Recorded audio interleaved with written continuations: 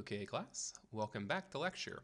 Again, this is Dr. Severin, and we're covering pulmonary function testing in this lecture. So I do want to comment on a few things. Uh, there are um, some differences between the type of tests you'll see. So the most accurate method for assessing lung volumes and flow rate and the function of the lungs is a technique called plethysmography, um, where the patient sits in a a device called a plethysmograph. Now, plethysmograph is you know any instrument for measuring changes in volume um, in an organ um, or whole body. Uh, so you can do a limb plethysmograph for looking at blood flow changes. We can do this plethysmograph chamber for looking at lung volume changes. This is the most accurate method for assessing residual volume, functional residual capacity, and total lung capacity because we have a known volume essentially in the chamber. We have a known volume for um, what the patient is kind of breathing out. So we can get a very accurate measure of what the, the volume then therefore is in you know remaining in the lungs after a normal breath, which will be the functional residual capacity, as well as the residual volume. So when they completely breathe out, so that's a plethysmograph. Now, that's really only reserved in pulmonology clinics. You you know you may see a respiratory therapist. Um, you know, working with these things, pretty high tech. You know, the patient kind of walks into this airtight telephone booth. So um, this is the most accurate method. It's a more advanced technique. However, spirometry uh, is, is a pretty effective method for, for most purposes. Now, spirometry is a test that uses a spirometer. So it's a device that has a known, uh, it's calibrated to a known volume of air. Uh, so we can um, make inferences based off of flow rate. So typically, um, what we do is we have a device uh, that we calibrate by pushing a volume of air across it so we can get you know an estimation of what volume and flow rate looks like. And then we have the patient breathe um, into that device after it's been calibrated and we can measure the volume they expire as well as the rate um, by which they expire. So we can get uh, pretty good measures for, uh, uh for forced vital capacity um, FEV1 and all that peak expiratory flow which we'll get into later. So the patient performs the test by fully inspiring and then fully expiring as full as they possibly can. And it's an effort driven test. It's crucial that they take that full breath in and then that full breath out is as, as full as it is possible. Like, I mean, it, you go almost to the point like you're almost wheezing. It's a, you know, every, every bit of it out as you can. Uh, the patient should be performing this test in standing with their nose clipped, um, unless they're physically unable. There may be patients like in a wheelchair or have you know different mobility limitations of some kind. And then the values of these tests are compared to normative values. And the most common one we see in adults is the NHANES 3 database. So uh, NHANES is a national database of various different um, health behaviors and stuff like that. So it's uh, normative data that's used for a lot of different things. We also use it for the um, spirometry test. Now, the values that we compare for lung volumes and flow rate are based on the individual's age, how old they are, because we know that, of course, changes lung compliance. So, you know, you don't want to compare someone who's 80 years old to values from someone who's 20 years old. I mean, there's going to be normal age-related changes in, you know, in lung volume and flow rate. Height um, and sex uh, you know, if you're a taller individual, you're typically going to have a bigger, you know, lung volume. You have bigger lungs, you're a bigger person. Same thing as well for um, sex. Typically, men um, and women are a little bit different in size. So again, it's trying to match uh, values as much as we can. Uh, race and ethnicity are also included in the NHANES uh, database because um, they that's been shown to have some bit of an influence. But really, the, the main, the main, main, main, main factors are again uh, age, height, and, um, and sex. Okay, so male versus female. Um, so it's important to note that when we, you know, when we perform spirometry testing, it's really only indicated for people with dyspnea or concern. Um, it's a diagnostic test. Again, it's not something that like we're probably going to do too much as PTs. Um, you may be asked to do it. It's not something that's going to drive a lot of your treatment interventions or decision making. It's a disease staging, um, you know, prognosis um, and diagnosis um, or diagnostic assessment. So it's and it's typically reserved for patients with dyspnea. Um, and as you remember from our pathology and pathophysiology lectures, there's a lot of conditions that have dyspnea. So this is part of the dyspnea assessment. In fact, if we look at the guidelines from the American Thoracic Society and European Respiratory Society, they do not recommend uh, spirometry testing or pulmonary function testing for people without dyspnea or out respiratory symptoms. Now, if you want to compare what your uh, normative values are, it's actually kind of fun. Um, you can go to this website here and plug in some of your data. So that's a, it's a it's, it's the CDC's website, um, and it actually runs you through how to perform the uh, spirometry test. So um, there are some questionnaires that patients will be asked, so I'm not going to go into too great a detail of this, but typically we want to make sure the patient's stable and will be able to tolerate the test. If they say yes to any of these things, the test would be contraindicated, just again to prevent any any serious issues from the test, because you are going to be breathing out pretty forcefully. Um, you want to make sure that um, nothing kind of you know, adverse occurs during that maneuver. Um, and these are examples of, or these are examples of what a spirometry test would look like. Again, it's a little bit different than a plasm, uh, plasmography test. Uh, these are by uh, MIR. They're a great company. I've used them for um, multiple different uh, labs and stuff like that. Uh, there's also the KoKo spirometer from nSpire Health. They're, they're similar, similar devices. So these are some of the handheld um, spirometry devices or office-based devices that you might see. Again, we can get pretty good data from basic spirometry. Don't necessarily need to use a plasmography unless we want to get measurements of residual volume and FRC and our true measure of, total lung capacity. So um, these are the values that we'll get from a spirometry test. Um, uh, well, total lung capacity typically we'll only get with a, um, you can make estimates from this, but typically that's going to get only be obtained from the um, plasmography. Um, vital capacity, tidal volume, we can also technically get if we wanted to just measure quiet breathing, minute ventilation, and again, residual volume is what you're going to get um, from your um, plasmography. Uh, but these are values that we're going to look at when we're assessing someone's lung function. So total lung capacity is the max amount of air contained at the lung at the end of a maximum inspiration. Like how much air can you hold into your lungs, okay? Vital capacities, how much air can you breathe out, right? Um, so that is performed after the maximum inspiration. They breathe out. Usually it's a forced maneuver, so you may see this interchange, vital capacity, forced vital capacity, FVC is what's done uh, most often when we're doing that uh, you know, spirometry test, okay? And then, um, again, men versus women, it's a little bit different, and FVC just means it's a forced vital capacity maneuver. Tidal volume is a gas that's expired during just an unforced or quiet breathing, ranges between 0.4 to 0.7 uh, liters or 500 milliliters, and the easier way to kind of remember that as well. And then it's just a normal breath out.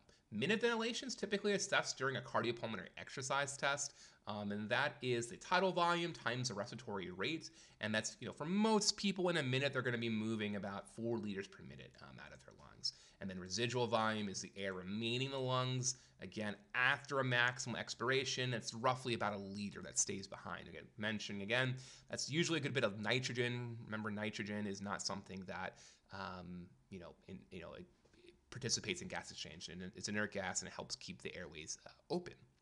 Again, it's surprising about 78% of the air we breathe in. And then uh, the other values we'll get from uh, spirometry, and again, this is typically more, um, some of these are more you're going to get in a uh, plasmographies, but inspiratory res reserve volume, expiratory reserve volume, functional residual capacity, MVV, we'll talk about that one, and diffusion capacity. So inspiratory reserve volume is basically the you know the, the reserve you have of inspiration. So how much more you could take in following a normal breath in. Expiratory reserve volume would just be the opposite. How much more can you breathe out after a normal breath out or a tidal breath? And then functional residual capacity is that is the volume in the lungs after a normal breath. So it's not the residual capacity, which is you know the volume of air remaining in the lungs after we fully empty it. Functional res- residual capacity is the amount of air after you breathe a tidal breath. It's that equilibrium point, remembering again at the end of expiration when the, the recoil of the lung, which pulls in, and the recoil of the chest, which pulls out, are in balance. And the volume that remains in the lung at that point um, is the functional residual capacity. It's, we, it's the set point we go back to after a normal breath. This will be decreased in patients with obesity, remembering that, that they have you know, that truncal fat, which compresses the chest wall. There can be other things that shift the FRC, but uh, that's, uh, again, the equilibrium point after a normal breath when the forces of the lung, which pulls in, and the forces of the chest, which pull out, are at balance. And that's the starting point, the volume we start at to breathe in a normal breath. Um, if it's decreased below normal, it makes it harder for us to breathe. A maximal voluntary ventilation um, is the total amount of air you can move after 12 seconds of maximal breathing. Now, this is done typically before a cardiopulmonary exercise test. Remember, we talked about how you very, you very rarely get to, um, you know, you, you, you, we have an incredible reserve for breathing. We our lungs very rarely fail us. This is a way for us to see if that happens during exercise. Typically, during exercise, your peak minute ventilation, remember we said is tidal volume times respiratory rate. During exercise, your peak minute ventilation or your VE max, okay, this is at maximal intensity, should never be more than 80% right, of your MVV. So if people start dipping into that, so say if they're getting up to, you know, 85% of their MVV, if they're getting you know up to 85% of that means they're dipping more into what their reserve is. That's not a good sign. Again that means maybe there's some sort of ventilatory inefficiency there.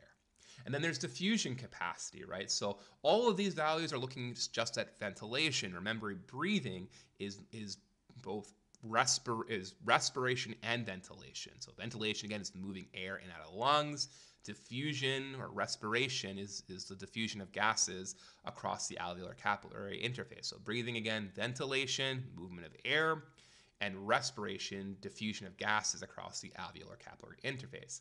For us to assess how well that part of breathing is working, we infuse a patient with a known volume of carbon monoxide, CO.